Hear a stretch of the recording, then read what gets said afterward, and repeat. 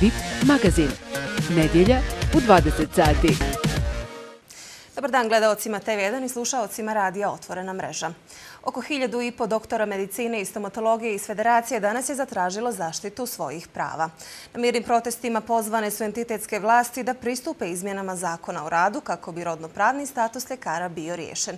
Taoci politike poručuju neće biti. Najavljen je generalni štrajk ukoliko današnje nezadovoljstvo ne urodi plodom. Sa problemom reprezentativnosti ljekari u Federaciji te Sarajevskom i Tuzlanskom kantonu susreću se još od februara. Tamošnje vlade zajedno sa federalnom onemogućile su im da potpisuju novi kolektivni ugovor. Mi ne želimo da budemo taoci nakaradnih eh, vlastodržaca koji nisu stavljeni da riješi jedan obični administrativni problem kakav je reprezentativnost doktora medicine i smatologije. Pozvali su krojače zakona da pristupe izmjenama i prepoznaju ih kao socijalno ravnopravne partnere. Da nam se omogući da zastupamo sami sebe. Dakle, da možemo da pregovaramo u svoje ime, da možemo da učestvujemo u pregovorima vezano za kolektivne ugovore, da možemo da učestvujemo u kreiranju zdravstvenog sistema u ovoj državi. Protest ljekara je sa trga Bosne i Hercegovine nastavljen ispred zgrade federalnog parlamenta. Tamo će se krajem mjeseca naći njihov problem. Oni zastupnici koji ne podrže izmjene zakona bit će prozvani. Ti zastupnici su apsolutno protiv doktora, protiv postojanja doktora u ovoj državi. To se treba imenom i prezmenom naglasiti. U ostalih osam kantona ljekari imaju zabetoniranu reprezentativnost i riješen im je radno-pravni status. Danas su došli da se solidarišu sa onima koji nemaju ista prava, iako svi djeluju u okviru jednog zakona. Jer je trenutno nedopustivo da se zakon može tumačiti tako da jedni kantoni priznaju doktore, dok im drugi brane zastupanje. Zakon mora biti jasan i dozvoliti da zastupamo svoje članstvo. Današnji protesti slika su onoga što ova struka ne želi biti. Ako poručuju ovakva sramota ne bude dovoljna poruka odgovornima za ovakvo stanje, slijede rigoroznije mjere, generalni štrajk u cijeloj federaciji. U parku Hastahana u Sarajevo ponovo su se okupili građani koji su potpisali peticiju protiv gradnje u ovom parku. Oni koji su potpisali peticiju tvrde kako ne žele nikakvu gradnju na Hastahani te da se park mora urediti i održavati. Peticiju će uputiti i načelniku i vječnicima općine Centar. Potićamo na posljednjoj sjednici općinskog vijeća Centar usvojen je nacrt odluke o izmjeni regulacijonog plana kojim su predviđeni radovi i gradnja na Hastahani. Građani su nezadovoljni ovom odlukom i poručuju da Hastahana treba ostati park.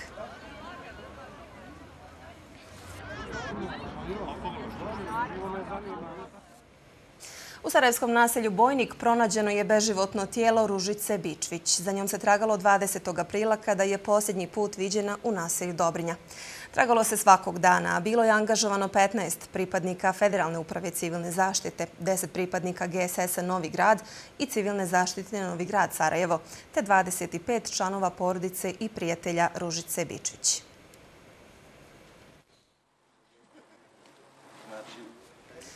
U Bihačkom naselju Gornje Prekounje u napuštenom objektu zgrade stare kompanije pronađene su tri ugljenisana tijela i to nakon što je u objektu ugašen požar koji je izbio tokom noći. Iz kantonalnog tužilaštva u Bihaću navode da se radi o migrantima čiji identitet i nacionalnost još uvijek nisu utvrđeni. Državni tužilac izdao je naradbu za obdukciju kako bi se utvrdio tačan uzrok smrti ovih osoba.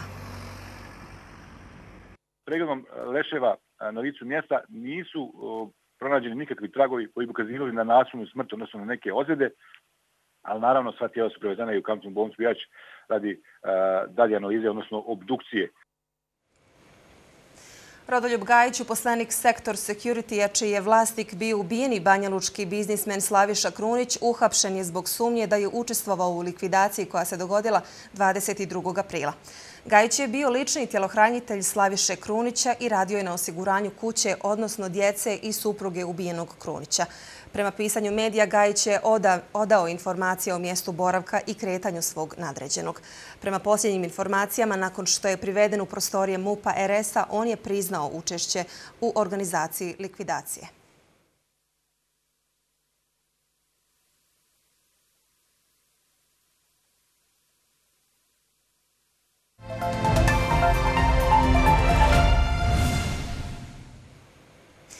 Obilježena je 76. godišnjica najhumanije bitke u historiji ratovanja. Bitka za ranjenike na Neretvi bila je bitka za spas preko 4000 ranjenika koji su vodile i dobile partizanske jedinice protiv udruženih njemačkih, italijanskih, ustaških i četničkih snaga u februaru i martu 1943. godine. Kako danas izgleda spomen obilježi i na koji način se ovaj događaj tretira, propratio je naš novinar Adnan Demić. Više hiljada antifašista iz svih dijelova Bosne i Hercegovine i ostalih zemalja bivše Jugoslavije došlo je danas u Jablanicu pokloniti se žrtvama e, slavne bitke na Neretvi i obilježiti još jednu godišnicu, jedne od najslavnijih bitaka u drugom svjetskom ratu svakako najhumanije bitke tokom drugog svjetskog rata, a možda i u kompletnoj historiji ratovanja. Neposredno pred ovo naše uključenje iz Jablanice razgovarali smo sa predsjednikom Sabnora Bosne i Hercegovine, gospodinom Sejadom Đulićem, koji je govoreći o važnosti bitke na Neretvi kazao kako se vojna strategija koju je primijenila Narodno-oslobodilačka vojska tih dana i mjeseci ovdje u Jablanici i ostalim gradovima Hercegovine i danas izučava na prestižnim vojnim akademijama u Evropi i svijetu. Inače, osim eh, delegacije Sabnora, brojne druge delegacije položile su danas ovdje pored spomenika na platovu Muzeja Bitka na Neretvi cvijeće i odale poštu eh, žrtvama eh, drugog svjetskog rata. Među njima bio je i član predsjedništva Bosne i Hercegovine iz reda Hrvatskog naroda, gospodin Željko Komšić. Neposredno nakon toga Komšić se obratio i predstavnicima medija. O čemu je sve govorio Komšić, ali i predsjednik Sabnora, gospodin Seja Đulić, pogledajmo u nastavku. Sve dok imate problema i dok se sudarate sa fašizmom, neofašizmom, šovinizmom, bilo kojom vrstom mržnje koja se zastiva na tome da ljude mrzite zato što su drugačiji iz bilo kojeg razloga.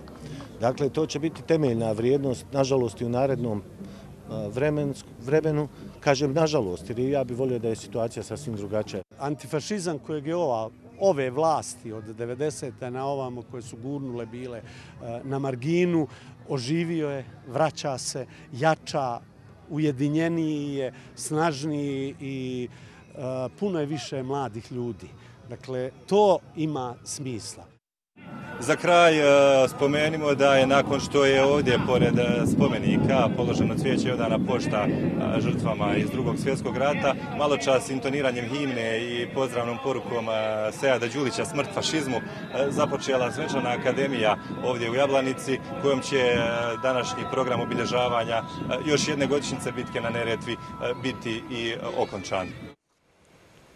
U Jablanici je danas zasjedalo predsjedništvo SDP-a. Teme su bile predstojeći kongres partije i pokret socijalne pravde i demokratije. Novoosnovani pokret za SDP novi je pritisak da uđe u priču o formiranju vlasti u Bosni i Hercegovini.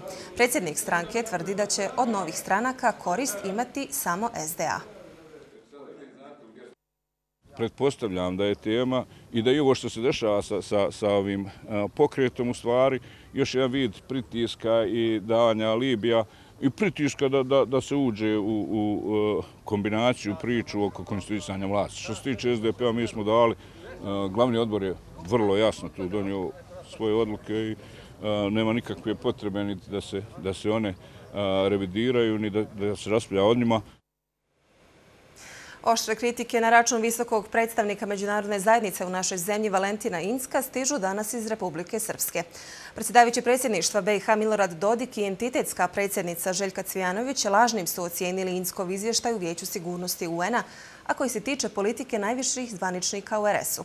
Kritike su pale i na račun Bošnjaka, smatraju ih glavnim kočničarima prilikom uspostave državne vlasti. Inskov izvještaj u Vijeću sigurnosti UN-a u kome se Republika Srpska spominje kao remetilački faktor u svemu, nastavak je oprobanog metoda klevete, poručuju entitetski zvaničnici, a kojom visoki predstavnik sigurno čuva svoje privilegije. Kako ne dosadi da laže i da podmeće ove sve stvari koje podmeće na Savjetu bezbednosti i na nekim drugim mjestima, a u nekom, nekome pragmatičnom životnom smislu ga razumijem, jer naravno on pokušava time da dramatizuje situaciju, da već oprobanim metodama satanizacije Republike Srpske sačuva pažnju faktora koji odlučuju u Savjetu bezbednosti na drugim mjestima u međunarodnoj zajednici. U pitanju je najobičnija laž i brutalna manipulacija. Republika Srpska će nastaviti da šalje izvještaj Vijeću sigurnosti UN-a, a Inska su pozvali da Narodnoj skupštini podnese izvještaj o svom radu. Inače, Insko je od drugih zemalja članica pozvan da iskoristi bonsko ovlaštenja i kada je u pitanju i zastoj o formiranju vlasti. Ovaj proces tvrde Dodik i Cvijanović obstrujušu Bošnjaci. Ilustracija toga je tandem Izadbegović-Radončić. Znam recimo da je prije tri mjeseca rečeno da će Fakrudin Radončić ući zajedno sa SDA-om koaliciju i da će on zajedno to biti, a sam treba još malo nekog vremena, a sada o tome prave veliki politički sporazum e, koje čak i Bakir Izebegović, kada smo razgovarali o tome koje mjesta njemu pripada, on je tražio ministarstvo bezbednosti da bi to bio ministar Fahrudin Radončić. To je jasan pokazatelj da je Bosna i Hercegovina ušla u sivu zonu i da se nalazi rećuću u kanđama neodgovornih političara koji namjerno blokiraju proces formiranja vlasti Jedan od zastoja u formiranju vlasti je i NATO put Bosne i Hercegovine. Obostrana saradnja može, ali ne i nametnuta. Reći ću da nema načina da Republika Srpska da saglasnost putem mene, da se prihvati map, niti bilo kakva približavanje NATO. Zbog svih navedenih zastoja, poručuje Dodik, nema ni funkcioniranja parlamenta, a i predsjedništvo će doći u poziciju da smanji nivo svojih aktivnosti. Polaganjem cvijeća i učenjem Fatihe ispred gradskog stadiona, fiskulturne sale, osnovne škole Branko Radičević i ženskog logora, te bacanjem 603 ruže s Ljubovijskog mosta u rijeku Drinu, kao i posjetom masovne grobnice Ređići, brojni preživjeli bratunčani danas su se sjetili svih žrtava ubijenih početkom agresije na našu zemlju. Sjećanje na civilne žrtve zločina koje su u prvoj polovini maja 1992. ubile jedinice JNA, policije i teritorijalne odbrane i paravojne srpske snage počelo je prije sedam dana posjetama masovnim grobnicama i spomen obilježima. U istinu moramo se zapitati koliko iskreno radimo kad je u pitanju utvrđivanje istine o zločinima, o agresiji, o genocidu u Bosni i Hercegovini, koliko istinu prenosimo naša svedočenja na mlađe generacije i koliko vršimo pritiske na institucije koje trebaju da procesuiraju odgovorne za zločine i za genocid u Bosni i Hercegovini. U susjednoj Srbiji policija je uhapsila cijelo rukovodstvo općine Požega. Pripadnici MUPA iz jedinice za borbu protiv korupcije uhapsili su predsjednika općine Milana Božića i još dvije osobe zbog sumnje da su izvršili krivično dijelo zloupotreba službenog položaja. Sumnja se da je rukovodstvo općine od 2017. do 2018. godine u četiri postupka nabavki naručioca općinske uprave Požega odobrilo plaćanje po računima izdatim od strane izvođača posla, iako navedene usluge i radovi nisu bili izvršeni, a postupci predmetnih nabavki nisu sprovedeni. Na ovaj način su u firmi Gorski pribavili korist od 1.360.000 dinara, a općinskoj upravi pričinili štetu u tom iznosu. Fizički obračun izbio je danas u parlamentu Hong Konga zbog planiranih zakonskih izmjena. Tenzije s početka sjednice u parlamentu završile su se tučom. Političari su počeli da psuju i skaču na stolove, a neki su pokušali da se domognu mikrofona.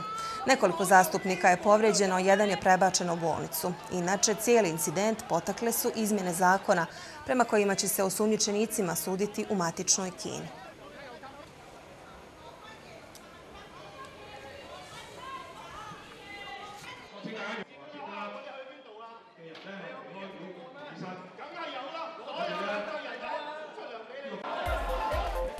Toliko u ovom pregledu vijesti. Vidimo se ponovo u 19 sati. Ugodan dan.